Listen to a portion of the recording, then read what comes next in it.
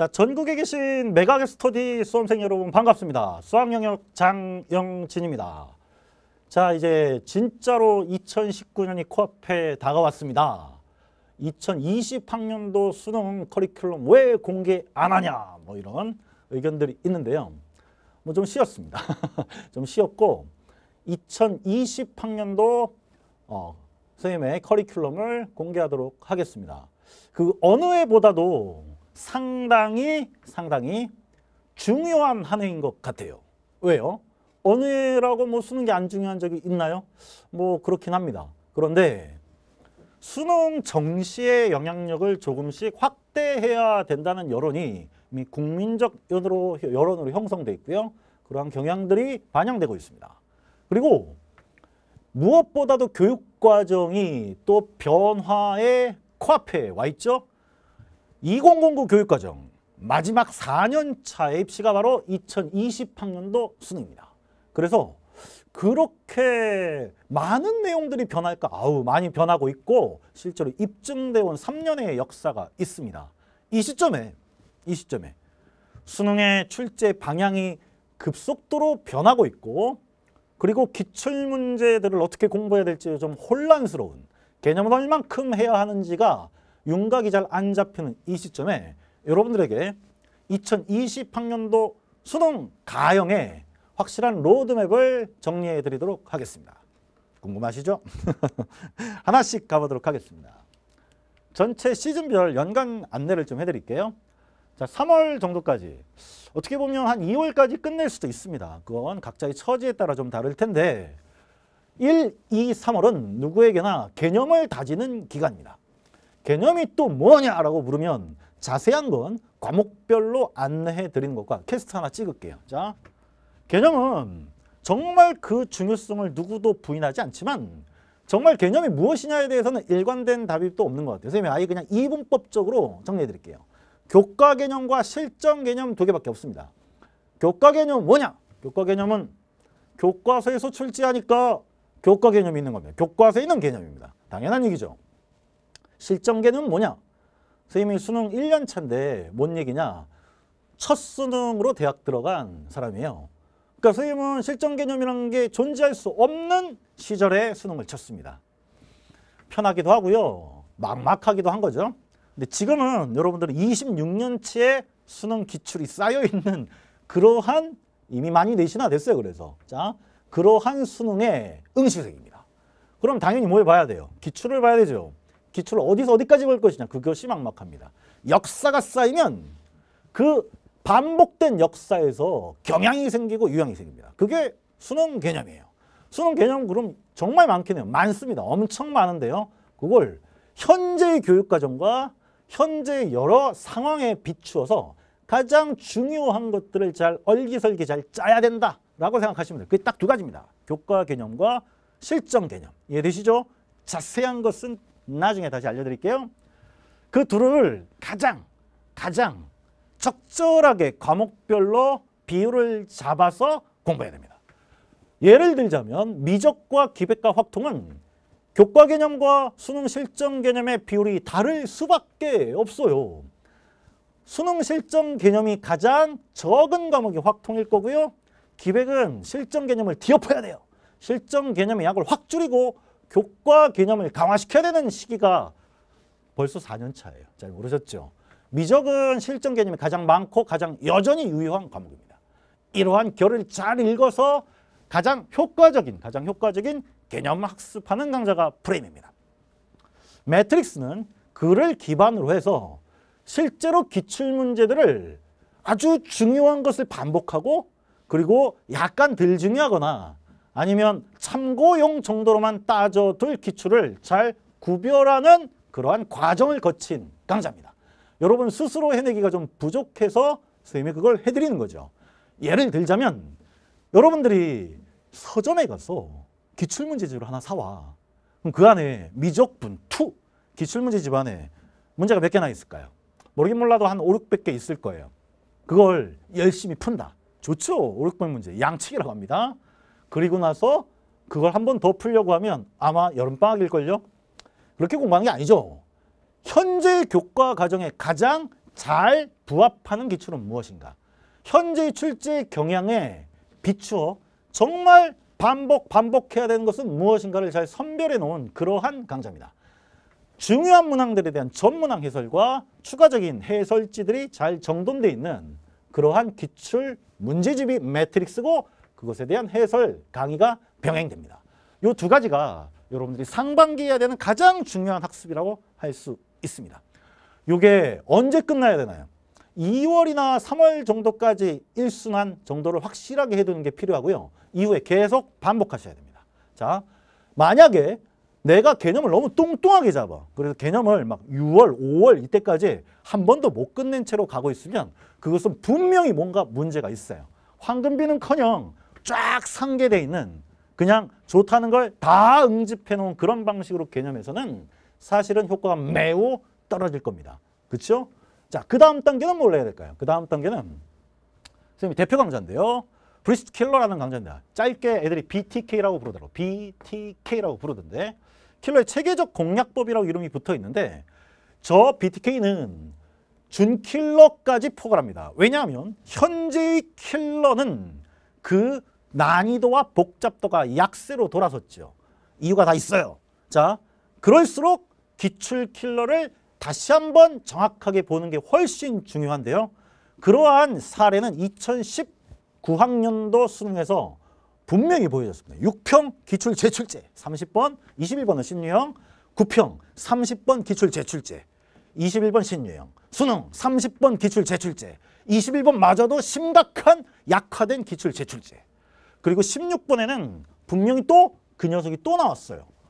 중킬러까지도 중킬러까지도 킬러 주제였던 것들이 약화돼서 나오고 있다는 것. 킬러를 기출 킬러를 짜임새 있게 주제별로 그리고 단계별로 접근시키는 쌤의 이과 상위권 학생들 대표 강좌가 된 올해 이제 4년차 들어가는 강좌입니다.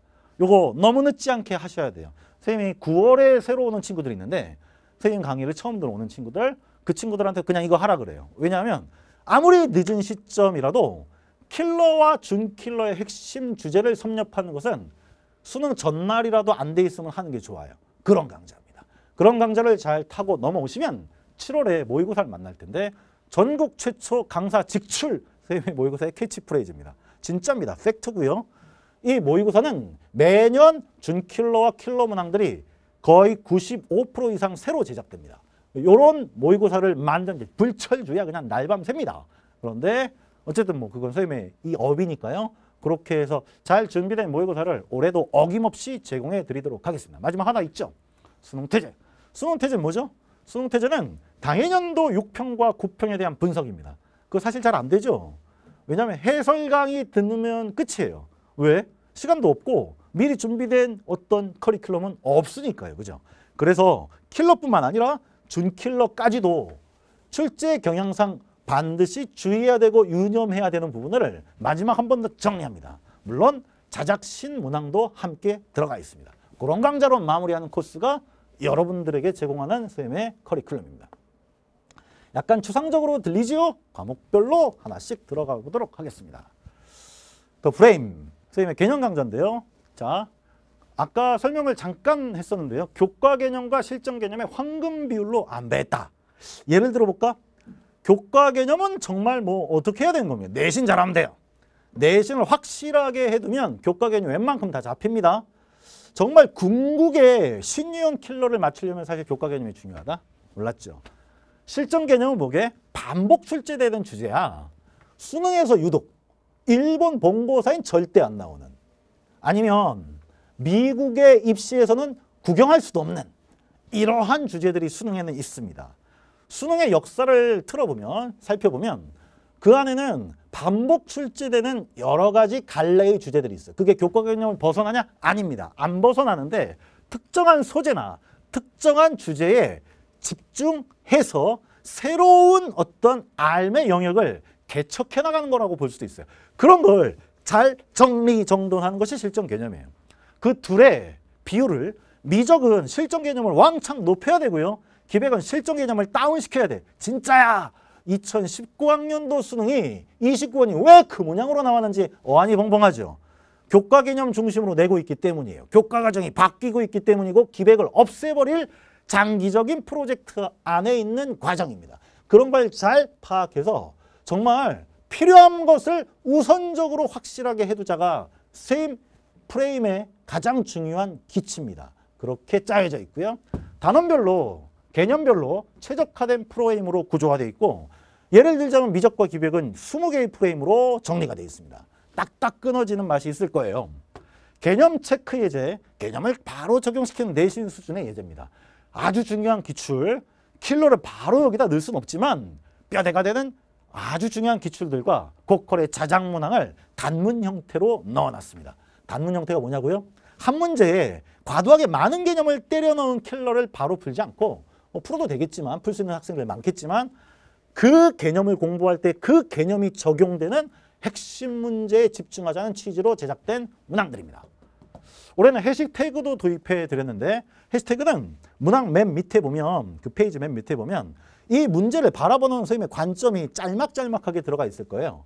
그거 먼저 읽으면 안 돼. 먼저 읽으면 스포일러 되고요. 학습 효과 떨어집니다. 공부 스스로 예습해 보고 그리고 나서 다시 한번 볼 때 그 부분을 보시는 게 좋겠습니다. 그렇게 해서 매트릭스랑 연결되는 지점들을 특히 해시태그에 잘 어, 모아놨어요. 그렇게 정리되는 강좌가 바로 프레임입니다.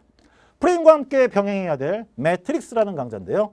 말 그대로 기출입니다. 기출 강좌. 어, 기출 문제 다 풀어주나요? 기출 문제 몇 개나 풀어주나요? 뭐 과목별로 좀 다른데 미적분은 180개 정도 됩니다. 확투, 기백도 한 190개가 조금 안 돼요. 180 몇 개 되고 어, 확통은 280문항을 엄선해 놨습니다. 와 양이 왜 이렇게 적어요? 이거를 반복해라. 이게 답입니다. 시중에 기출문제집을 여러분들이 구입할 수 있죠. 아니면 평가원 홈페이지에 들어가면 기출문제를 다운받을 수 있어. 그 공부해도 됩니다. 교과 개념만으로 다 풀 수도 있어요 사실.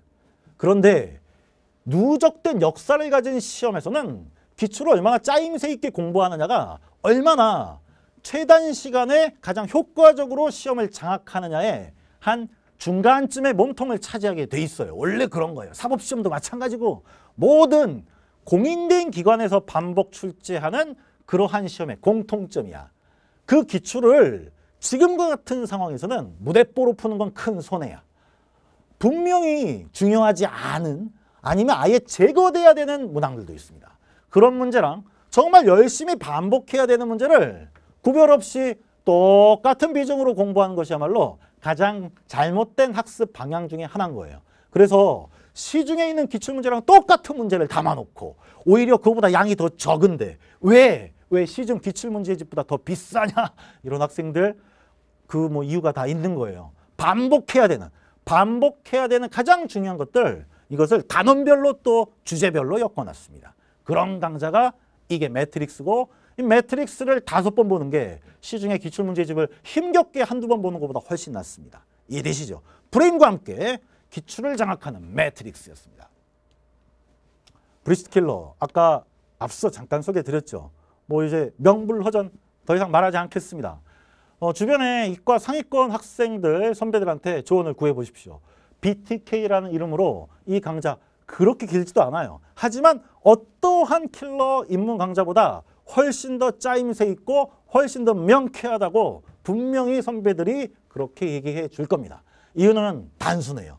자, 21, 29, 30에 출제된 그이 무당들이 중요하다는 걸 모르진 않죠?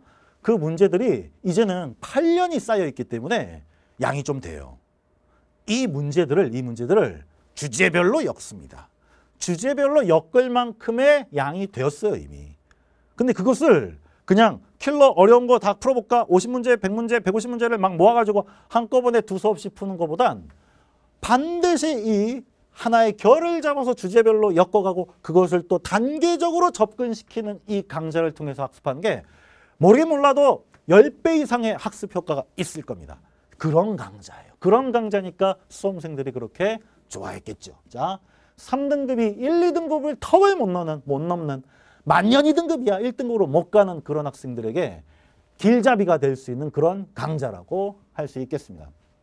여러분, 음, 지금의 수능의 어떤 경향, 출제 방식으로 보자면 한 15년 전, 10년 전의 수능과는 완전히 달라. 그때는 진짜 뭐 주제별 이런 것들을 하기가 힘들 정도로 곳곳에서 새로운 것들이 많이 나왔었는데요. 지금은 수능을 많이 순화시켰기 때문에 기출 베이스로 기출을 잘 공부하기만 하면 6, 70%는 확 쥐고 들어갈 수가 있어요. 근데 그것이 킬러랑 준킬러까지도 그러하다는 것. 이것을 그 비밀을 밝혀낸 강좌예요. 자, 올해도 내실 있게 준비하도록 하겠습니다. 장현진 모의고사입니다. 아까 말씀드렸죠. 전국 최초 강사 직출. 이 팩트입니다. 의심하는 거야. 팩트예요. 선생님 이제 오래 하다 보니까 뭐 문항도 많이 쌓이고 무엇보다도 있잖아. 학생들이 어느 선에서 학습이 되어 있는가가 이제 확실하게 좀 와닿는 것 같아요. 지금은 모의고사가 광범위해진 시기이기 때문에 모의고사를 안 하는 선생님들 별로 없으시고 특히 전문 출제진도 많이 있습니다. 그런데 그 전문 출제하는 분들은 사실 학생을 잘 알지 못하는 것 같아요. 직접 학생들과 대면하며 그들이 어떻게 반응한지를 실시간으로 체크할 수 있는 건 현장에서 강의하는 선생님들 외에는 아마 별로 없을 것 같아요. 그러한 양, 어? 양쪽의 장점, 두 마리 토끼라고 할까요? 두 마리 토끼를 다 잡는 것이 선생님의 애초에 선생님의 강의 컨셉이었고 선생님의 목표였습니다. 몸은 부서져라 힘들지만 그걸 지속시키고 유지할 수 있다면 거기서 오는, 거기서 오는 엄청난 힘은 아마 여러분들의 선배들이 또 경험했을 거예요. 자, 그 점 믿으시고 올해도 제대로 강화된 준킬러 또 반대로 킬러는 너무 심하게 괴랄하게 공부하는 건 별로 좋지 않습니다. 이게 두 가지 선생님 모의고사의 컨셉이고요. 당해년도 평가원 트렌드 즉각 반영할 수 있습니다. 매년 그렇게 해왔고요. 오직 완성도와 적합도로 승부하는 모의고사라는 사실 올해도 내실 있게 알차게 준비하도록 하겠습니다. 마지막 수능 태제인데 어, 수능 태제는요. 실제로 2018년에는 그 출제 경향을 거의 정확하게 적중시켰습니다. 2018학년도, 2019학년도는 확통을 충분히 준비하자는 기조가 한 축에 있었는데 교육과정이 한 번 더, 수능의 출제 과목이 한 번 더 뒤집히면서 올해 수능은 조금 약화되게 출제됐습니다. 그런데 여러분들이 하고 있는 오해 중에 하나가 뭐가 있냐면 9평, 6평이 100% 수능에 반영되냐? 아, 반은 진실이고 반은 또 어, 진실이 아닙니다. 왜냐하면 실험을 하기도 하고요. 새로운 활로를 모색하기도 합니다. 6평, 9평은.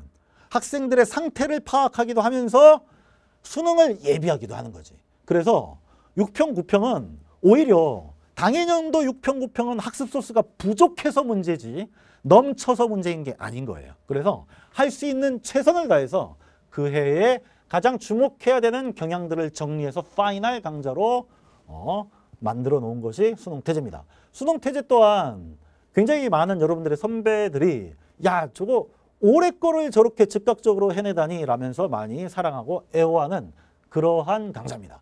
수능 태제까지 여러분과 함께 무사히 무사히 1년 갈 수 있도록 선생님도 체력을 잘 비축하고 그리고 딴 데 신경 쓰지 않고 오로지 수능 2020학년도 수능에 집중하는 한 해를 만들어 가겠다는 다짐을 여러분 앞에서 공개적으로 하겠습니다.